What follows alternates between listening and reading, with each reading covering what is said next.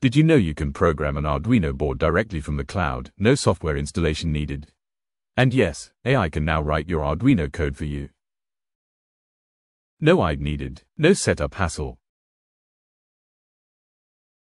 Here's my Arduino Uno R4 Wi-Fi. It comes with built-in Wi-Fi and a powerful Renesas microcontroller.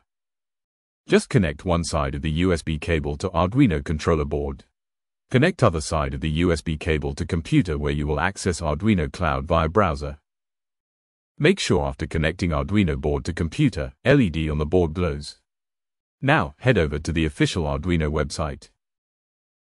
Now look at the top right corner. You'll see a button labeled Cloud. Click on it, and you'll be asked to log in. If you are existing user id log in with it, else create a new user and log in. I have my existing user id, so logging in using that. You'll now land on the Arduino Cloud IDE homepage with multiple menu options in front of you like things, devices, dashboards, and triggers. But for now, we'll focus on writing a small program using AI. Before we start writing any code, we need to install the Arduino Cloud Agent on the computer. Simply download it and install it from cloud.arduino.cc because this agent is needed to establish the connection between your Arduino board and the cloud. I am downloading and installing it on my computer. You'll notice a small Arduino Cloud Agent icon right at the top of your browser bar. Now, make sure Arduino board is connected to computer via USB and LED is glowing. Now, go back to the Arduino Cloud homepage, and on the left sidebar, you'll notice the menu for sketches.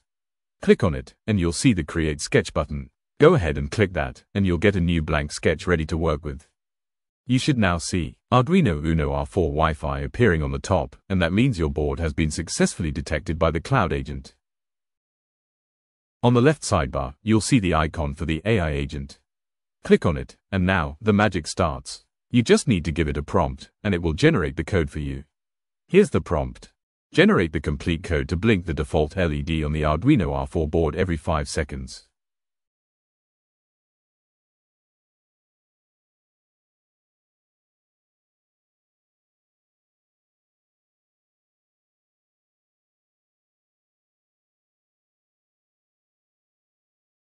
You'll see the AI create the code right in front of you. Just click the Apply button, and the code will be copied into your new sketch automatically.